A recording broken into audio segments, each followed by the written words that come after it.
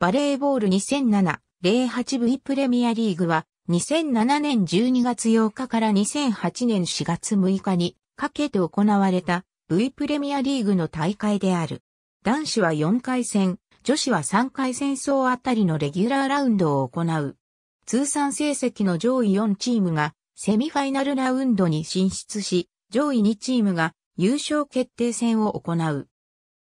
12月15日、12月16日、12月22日、12月23日、1月12日、1月13日、1月14日、1レックの結果1月19日、1月20日、1月26日、1月27日、2月2日、2月3日、2月9日、2レックの結果2月10日、2月11日、2月16日、2月17日、2月23日、2月24日、3月1日、3レックの結果3月2日3月8日3月9日3月15日3月16日3月22日3月23日4レックの結果3月28日3月29日3月30日4月12日4月13日この結果 NEC ブルーロケッツと大分三好バイセアドラーが V プレミアリーグに残留が決定した。